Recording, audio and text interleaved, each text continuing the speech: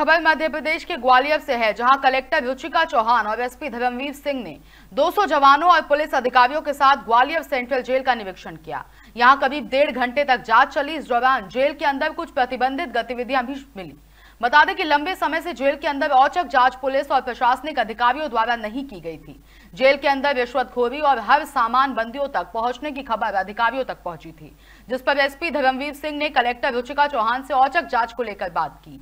इतनी संख्या में पुलिस और प्रशासनिक अमला देखकर जेल प्रबंधन भी सख्ते में आ गया। जाँच के दौरान बंदियों से बीड़ी, तंबाकू, गांजा, पान, मसाला बरामद हुआ। इसके साथ बंदियों के पास रुपए भी मिले। जेल प्रहरियों की भी तलाशी ली गई। इस बीच जेल के अंदर मिले आपत्तिजनक को लेकर कलेक्टर और एसपी ने नाराज़गी जताई है।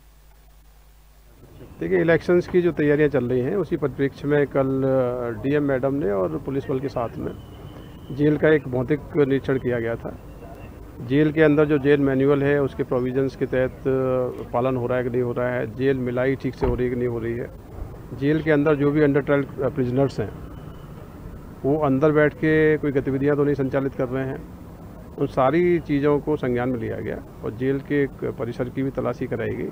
उसमें कुछ चीज़ें ऐसी संज्ञान में आई हैं जो नहीं मिलना चाहिए थी तो जेल सुप्रिटेंडेंट साहब, उसमें एक इंक्वायरी इनिशिएट किए हैं और इंक्वायरी के बाद जो भी रेस्पॉन्सिबल होंगे, कार्रवाई की जाएगी।